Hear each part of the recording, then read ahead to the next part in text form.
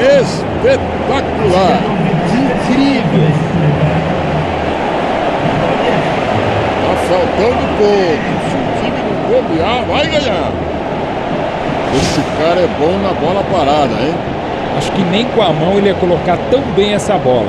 Que golaço.